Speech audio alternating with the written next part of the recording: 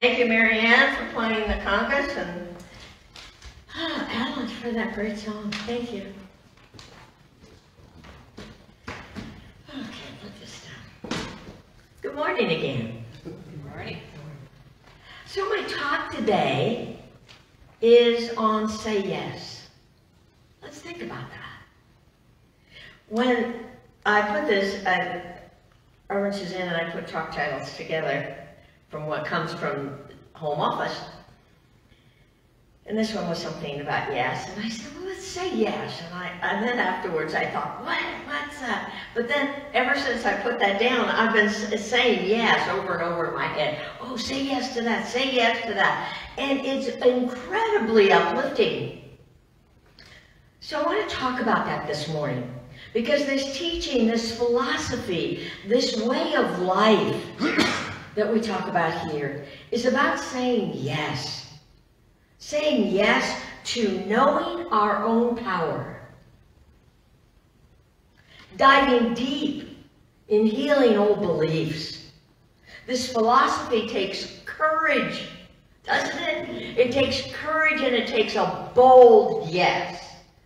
So, I've written a couple of bold yeses up here to keep help help us stay on track. Saying yes to life means we understand that there is a power in this world greater than we are. And I think that's really important for us to understand that when we say yes, even, even when we find ourselves in what I found that young woman in this morning, in good trouble, say yes. This power is in you, and this power is all around you, and it is there for you to use. Yes? Yes. Okay, bold yes. Yes. Good. Facebook, hope you're saying that. Our job is to open, to connect, to connect to this power more and more and more. This is where our treasures of our own personal existence will exist and be found. Are you willing to find your treasure this morning? Yes. Yes. Good. Yes. Bold, yes. Saying yes takes courage. Yes moves us beyond our doubts and fears. Anybody in doubt and fear this week? Just say yes. Oh yes, isn't that fun? this morning, let's try this on. What do you have to lose? Maybe your doubts, maybe your fears. Are you willing to say yes? Yes. yes. Great. Are you willing to say, yes, I am worthy? Yes, I am worthy. Good. I say yes to being fully connected to the limitless source of love. We have talked about this over and over again that God, the Spirit of life, is love. So when we say yes to that Spirit of life, we say yes to an unlimited source of love. I say yes to falling in love with myself. Now let's think about that. As a little kid, when I would have fun and I, would say, oh, I really like myself, they would chastise me for that. So today we're going to say yes to falling in love with our own divine nature. Yes? Yes. Good. I say yes to falling in love with life. Mm. Because you know what? I, we can push against anything and everything that's going on in life, or we can fall in love with our own divine nature and say, okay, this is good trouble. This is good trouble because whenever we see trouble, we know that a change is going to take place. Yes? Yes. yes. Falling in love means I'm willing to cancel any negative thought, any fear, any judgment that interrupts my trust and my joy. Yes. Yeah.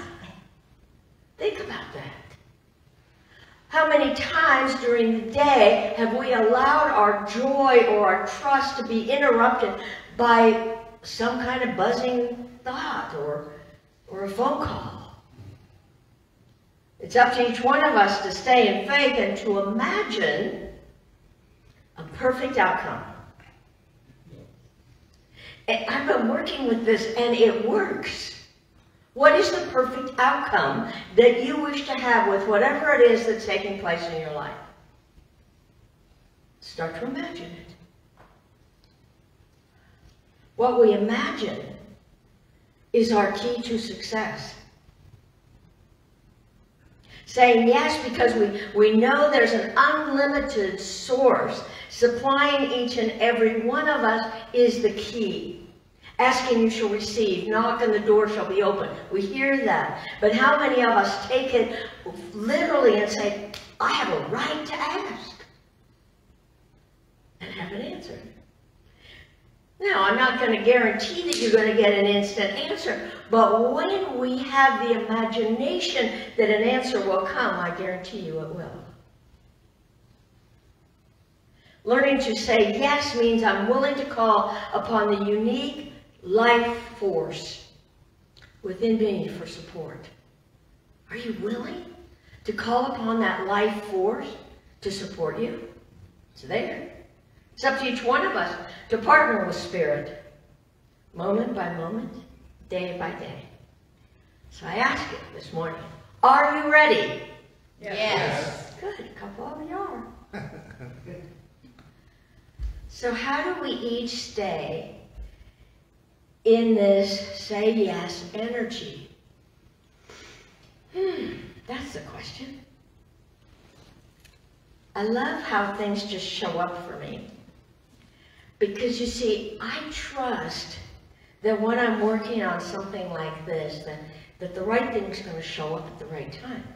I have absolutely no idea. but this week, I had ordered this book, and it's Neville Goddard. I don't know if any of you have read Neville Goddard, but he's a brilliant, brilliant writer. And so whenever I get a book, I was just open it. Does anybody do that? Just, oh, it's a new book. Ooh, I don't start at the beginning. What's this book have for me, I ask. So I did that. Got the book, boom, opened it up. Guess what? Chapter 10. Things which do not appear is the title. That was interesting. And it, it starts out with Hebrew 11, uh, 3. What is seen was made out of things which do not appear. Now, here that that comes from the Bible. That's in Hebrews. What is seen was made out of things which do not appear. So then I read down further, and it says, by, man, by man's imaginary activity, all things are made, and without such activity was not anything made that was made.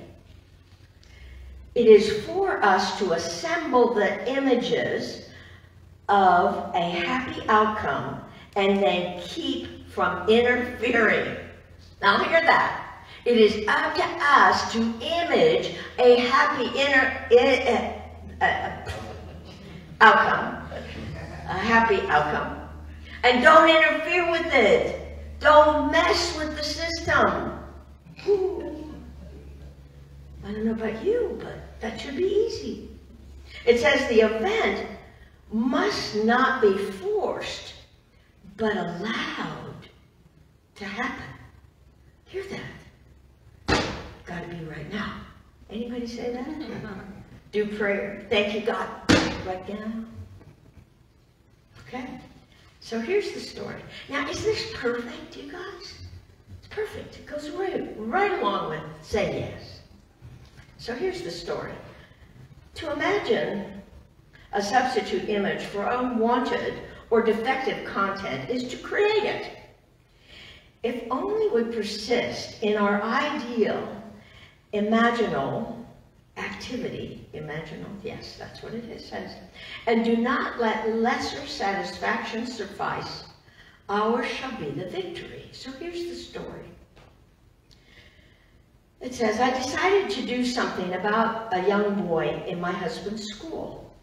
To tell all the problems involved would take pages for my husband has never had such a difficult child nor such trying parental, parental situation. The lad was too young to be expelled from school, yet the teachers all refused to have him in their classes. To make matters worse, the mother and the grandmother literally camped out on the school grounds, making trouble for everyone.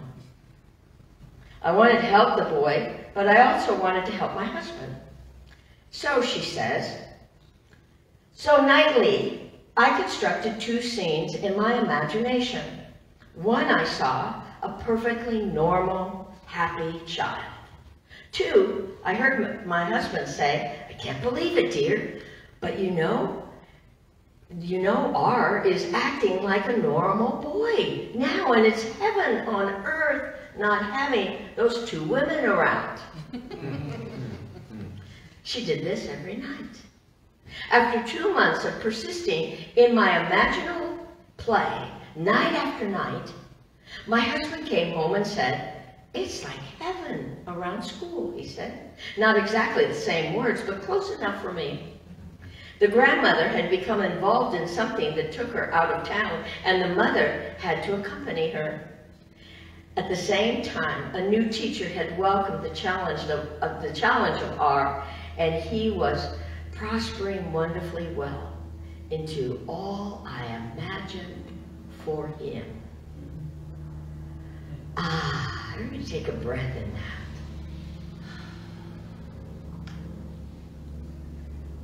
It makes a difference when we imagine for those that we love a perfect good outcome. I don't know about you, but I've been guilty of watching some bad behavior and repeating it in my mind. Anybody else? Hmm, you don't have to raise your hand. Thank you. Hmm. Yeah. So let's start with yes, a bold yes. I'm thankful. I, I love my life. I savor this. I love that word savor. Reminds me of a good meal I ate the other day. Best outcome. We want all the people in our life to succeed. So let's imagine that for them, like this woman did. Imagination is our creative instrument. It's free. We can use it. Say yes to imagining the very best outcome in your life, in the life of your loved ones. Resistance to life's events, repeating what's wrong, looking at what isn't working. Everybody breathe in that. Creates more lack. Worry creates more worry. Let's stop it. Say yes. Allow what you notice to become your tool for change. If you notice war, see the outcome of peace. Perfect outcome. If you see anger, get out of the room, but see peace. Change is your tool.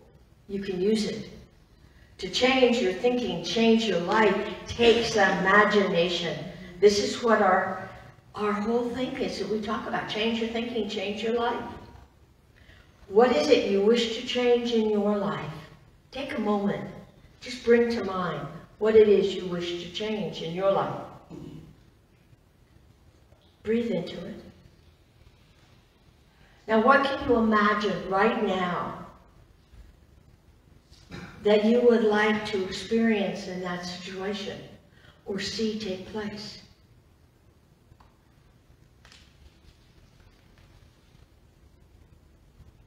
Start with your yes by focusing on aspects in your life that you like. Practice yes. One of the things I practice every night, I love my bed. I love how my bed feels.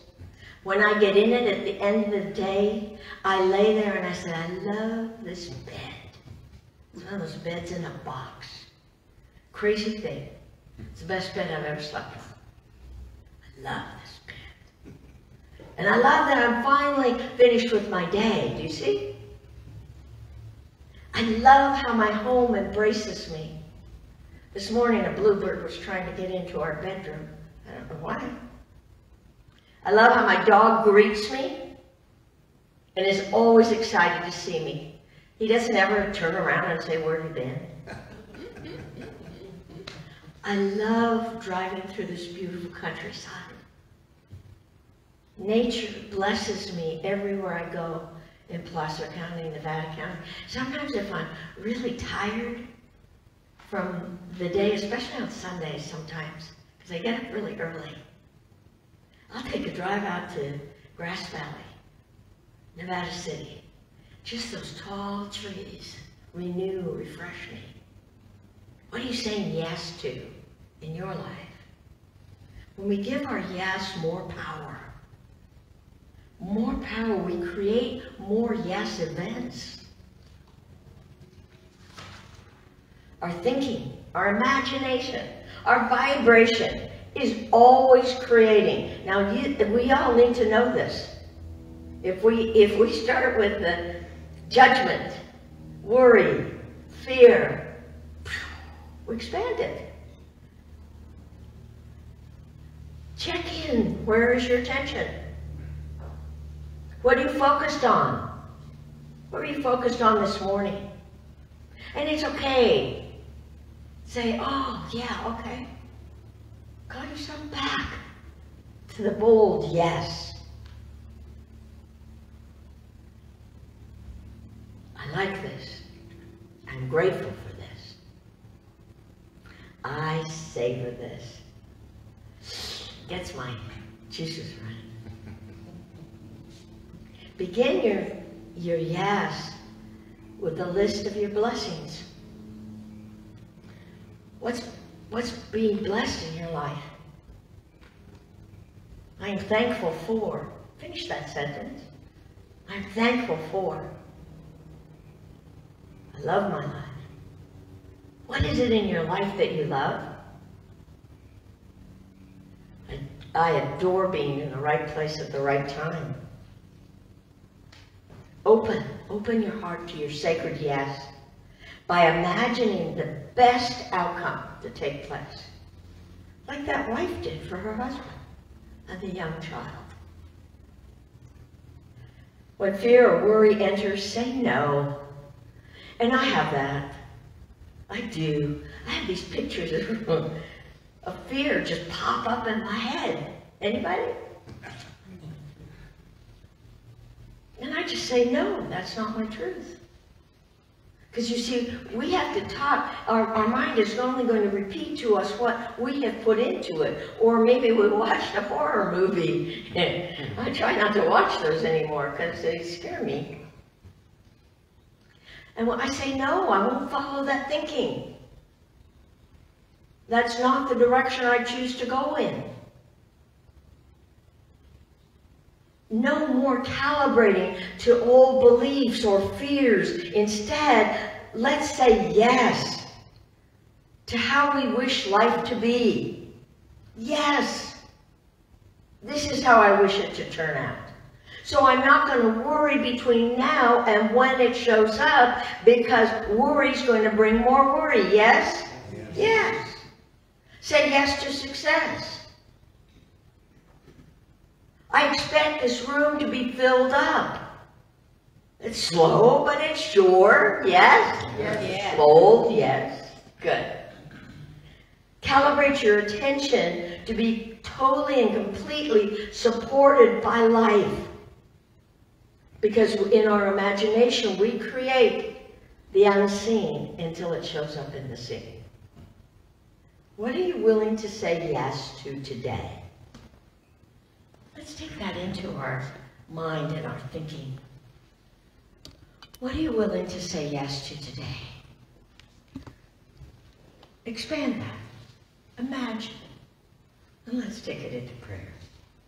So we know and accept that there's only one power, one all-loving, all-nurturing, all-embracing presence, by whatever name. I call this God, the infinite, the divine, the beloved. It is here, it is now. It is the very life that lives and breathes within me. And what I know is true of me, I absolutely know is true of each and every one of us here. And each and every person looking at this on Facebook. And those that are yet to be seen this.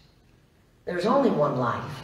And it is unique and special and divine within and throughout all that you are and all that you are yet to be. I accept this. I know this truth greater this morning than ever before.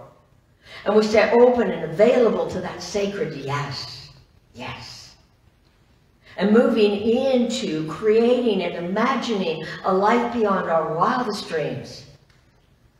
A life of love and friendship and prosperity and joy and gratitude in every moment.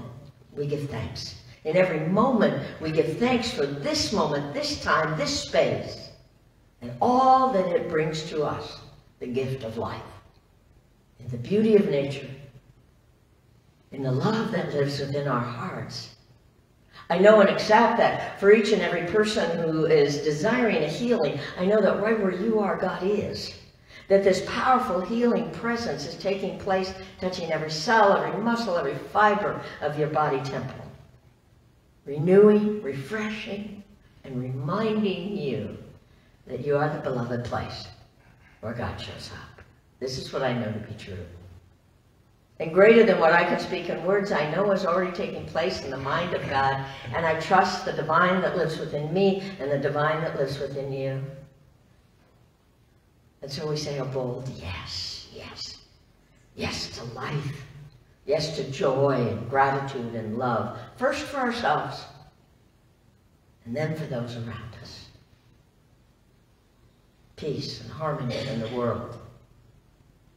This is what I know. I recognize that these words spoken are powerful and they draw to us, each and every one of us, a greater truth, greater light, greater love. And so I just release this, my powerful word, into the ever-living, loving law of God that always says yes. Knowing it returns to and through each and every one of us, multiplied, magnified, and spilling over. We are full of it, and we're proud of it. And together we say, if you're in agreement, and so it is.